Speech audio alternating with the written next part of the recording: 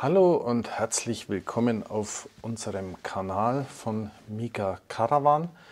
Und ich muss euch hier von meinem Arbeitsplatz aus mal mitnehmen.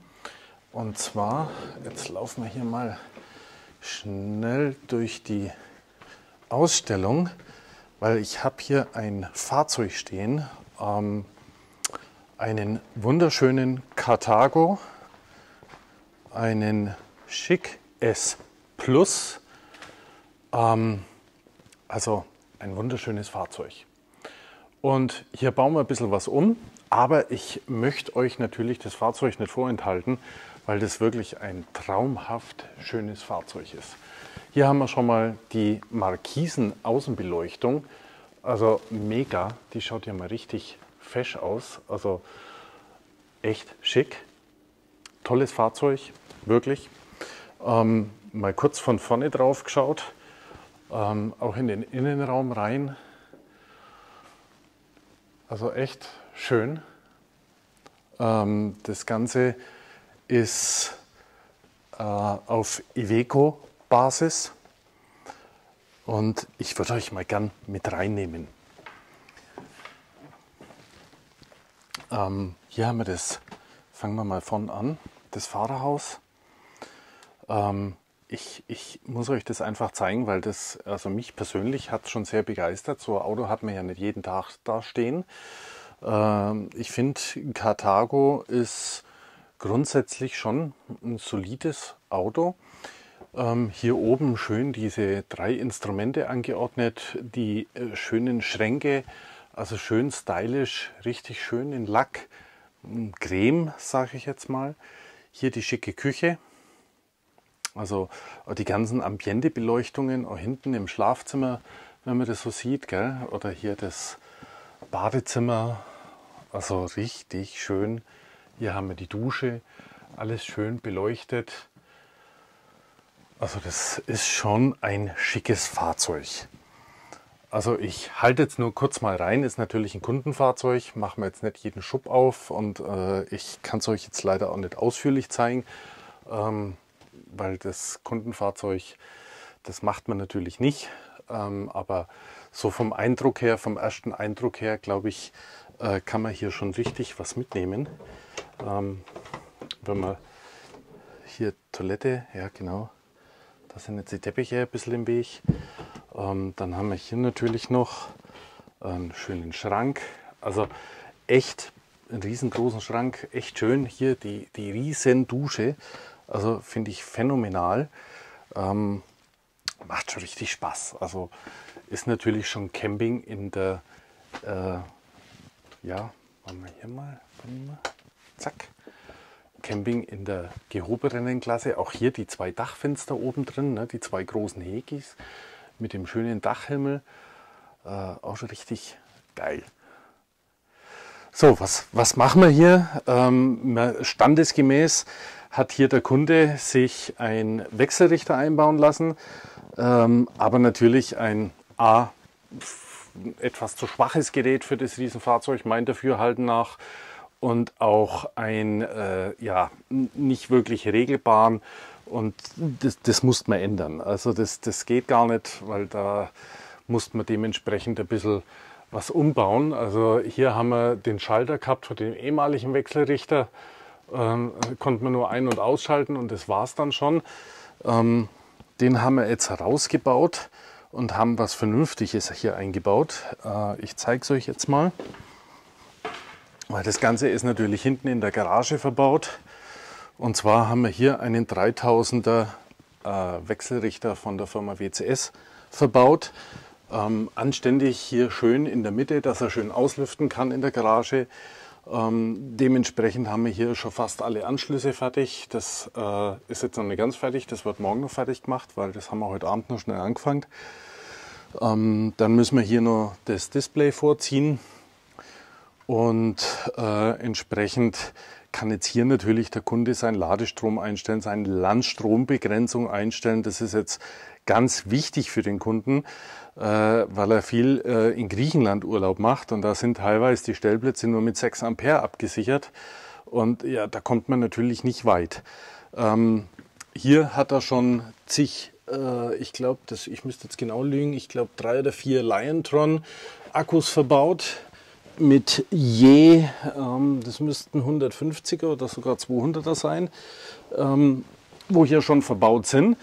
Und dementsprechend macht es natürlich nur Sinn, dass man hier einen anständigen Multi verbaut, äh, der leistungsstark ist und auch entsprechend das Ganze ab kann, um dass er natürlich wirklich genug Power hat. Und drum haben wir ihn den alten Wechselrichter, was heißt alt, der war ja auch schon nagelneu, aber leider ähm, viel zu niedrig dimensioniert hier verbaut. Und drum haben wir jetzt hier den 3000er reingebaut. Jetzt machen wir morgen hier die ganzen Kabel noch schick und wird alles noch sauber verdrahtet. Dann ziehen wir ihm das Bedienteil noch nach vorne und das Display machen wir dann hier genau in die Mitte rein, ähm, wo der Schalter war. Und zwar genau hier setzen wir das in die Mitte rein, damit es schön sauber ist. Dann machen wir die Blende vorsichtig raus, dann kann man das hier schön reinsetzen und dann ist hier ordentlich dafür gesorgt, dass das Fahrzeug richtig Power hat und einen richtigen Ladestrom hat vor allen Dingen. Das ist ganz wichtig. Ähm, das ist mir auch wichtig, weil das ist ein sehr guter Kunde und ja, da muss das Ganze natürlich anständig funktionieren. Da haben wir noch ein kleines Wasserproblem in dem Fahrzeug. Ähm, ich weiß noch nicht genau wo. Auch das müssen wir morgen nochmal eruieren. Ähm, es ist traurig, gell? aber das ist ein fast neues Fahrzeug. Aber irgendwo ist irgendwas undicht im Zwischenboden, läuft ständig Wasser. Auch das wollen wir morgen untersuchen und äh, vielleicht finden wir da auch noch die Ursache, damit wir auch hier den Kunden noch helfen können. Ähm, es wäre uns auch ganz wichtig. Dann sieht man schon hier, das ist so ein Merkmal, ne? also die Scharniere da oben, äh, die Steige von der Türe, ähm, dann nach unten die Scharniere, also ist schon, schon ein bisschen was anders, ist schon toll. Ne? Also ich finde es richtig geil. Macht schon Spaß. Schauen wir mal schnell von der anderen Seite. Hier steht unser Mietfahrzeug. Das wird noch hergerichtet, weil das geht wieder raus. Ähm, genau, so schaut er von der anderen Seite aus. Richtig klasse. Viel Stauräume unten drin, Garage schön zugänglich. Also da kann man schon richtig was anfangen damit. Ähm, da hat man schon richtig Platz in dem Auto. Also richtig schön. Viele Klappen,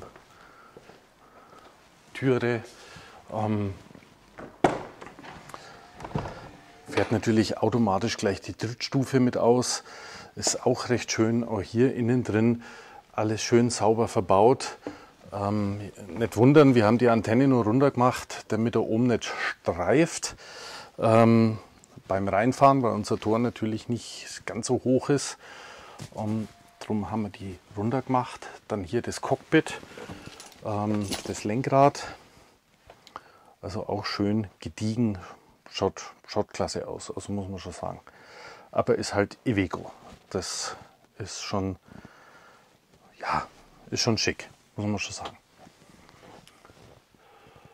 Mal von der Perspektive schön geräumig. Also ich finde auch, man hat hier herin ein, ein sehr, sehr, ich weiß gar nicht, ob das so rüberkommt, sehr schönes, großzügiges Raumgefühl.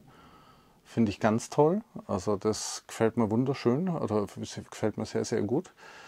Klar, jetzt muss man auf das Holz stehen, also das, das dunkle Holz, das muss man natürlich mögen.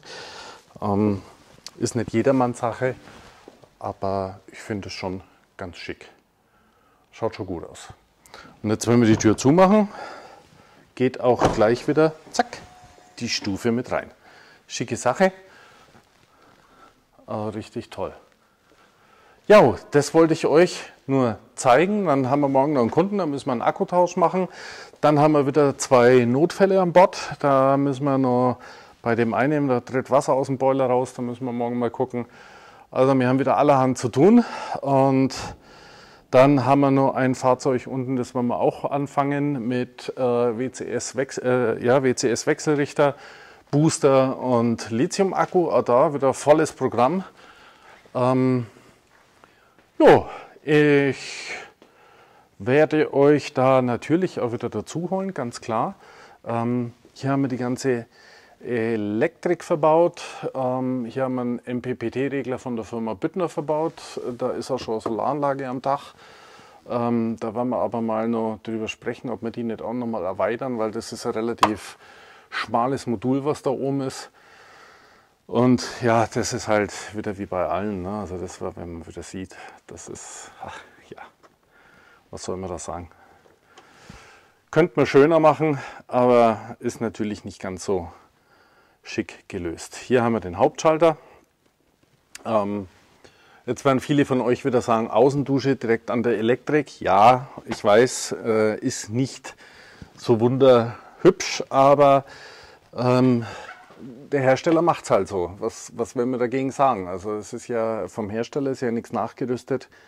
Ähm, warum er das so macht, kann ich nicht beantworten. Äh, da müsste man mal die Hersteller fragen, warum das so ist aus platztechnischen Gründen oder wie auch immer. Aber das kann nicht unsere Sorge sein. Ähm, wir werden jetzt morgen das Fahrzeug gar vollenden, den Wechselrichter gar sauber einbauen und ja, dann hole ich euch wieder dazu bei der nächsten Baustelle bzw. beim nächsten Fahrzeug, was es da wieder alles zu sagen und zu zeigen gibt. Und danke übrigens für die mega, mega super vielen schon bereits angekommenen ähm, Anmeldungen.